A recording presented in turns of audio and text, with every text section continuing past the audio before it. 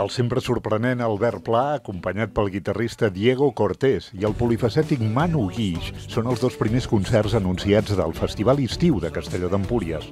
Del 3 al 9 de juliol s'oferiran una quinzena d'actuacions en espais del Centre Històric i d'Empúria Brava. Entre el 3 i el 9 de juliol programem 15 concerts de diferent format, diferents espais del municipi i ja podem avançar quins seran els dos primers que es posaran a vendre les entrades. I un serà el dia 5 de juliol, que és Manu Guix, al claustre de, de Santa Clara, i després per tancar el festival el dia 9, que és un diumenge, doncs tindrem el Albert Pla amb el guitarrista Diego Cortés, doncs, que ens oferiran el seu espectacle. Bé, és, eh, oferirem aquest any, com els altres dos, doncs, música de tot tipus, per tots els públics, i per nosaltres, per Castelló d'Empúries, doncs, suposa el tret de sortida a totes les activitats d'estiu, que n'hi ha moltes doncs, que fem doncs, aquest any 2023.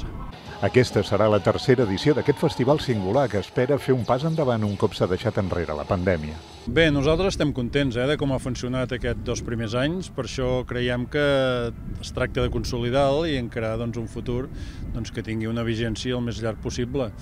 Eh, nosaltres creiem que podem millorar eh, les, la, els números o les expectatives creades aquests dos primers anys, pel que tu dius, per la pandèmia, però tot i haver-hi pandèmia nosaltres estem molt contents de com va funcionar i esperem que aquest any sigui millor encara. Les entrades per als dos primers concerts anunciats es posen a la venda aquest dimarts. El cartell complet es presentarà a mitjans del mes de març.